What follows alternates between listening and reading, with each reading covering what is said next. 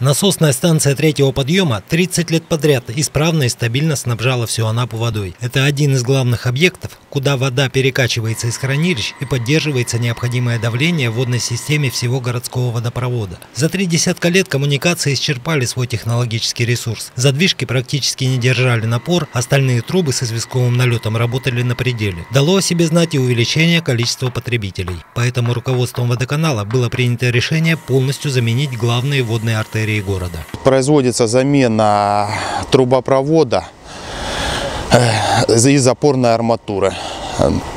На, происходит увеличение диаметра, за счет чего будет поступать большее количество воды. Если раньше две нитки старых водоводов с трудом давали городу чуть более 1700 кубометров в час, то теперь мощности и объемы поставляемой воды существенно увеличатся. Пропускная способность составит около 2500 кубометров воды за 60 минут. Кроме этого, будут заменены все запорные задвижки. Руководство водоканала выполняет поручение главы Анапы и делает все возможное, чтобы обеспечить курорт необходимым количеством жизненно необходимого ресурса. В планах замена оборудования и на других объектах объектах водообеспечения. Самое основное – это заменить насосное оборудование на водозаборе.